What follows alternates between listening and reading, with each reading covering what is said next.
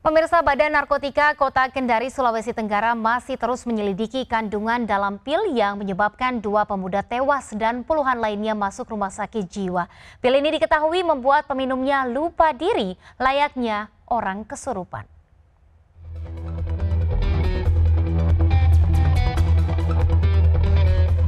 Hingga kini tercatat dua pemuda tewas dan 68 lainnya dirawat di sejumlah rumah sakit termasuk rumah sakit jiwa di kota Kendari usai mengkonsumsi pil berbahaya yang dibagikan orang tak dikenal.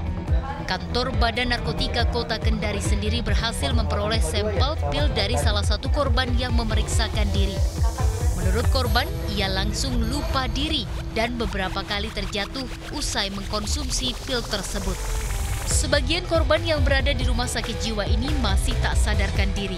Sementara sebagian lainnya terpaksa dikurung dalam sel tahanan rumah sakit jiwa karena kerap mengamuk dan histeris.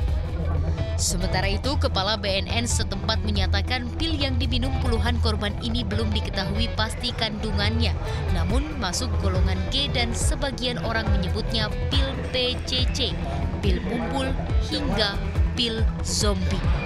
Pilnya uh, dia bulat, tablet ya, dia bulat, uh, lebih kecil daripada PCC, tidak tulisannya. Tapi ini anak-anak pelajar kota Kendari ada informasi kita dapatkan, mereka juluki ini namanya Bill Zombie. Coba bisa dibayangkan ya, mereka memberi nama obat ini sendiri. Dan mereka mengatakan ini jauh lebih dahsyat efeknya daripada PCC.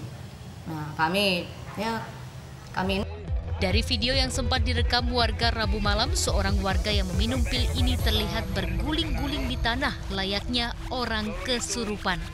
BNN Kendari sendiri menetapkan kejadian ini sebagai kejadian luar biasa. Febriono Tameng, MNC Media, Kendari, Sulawesi Tenggara.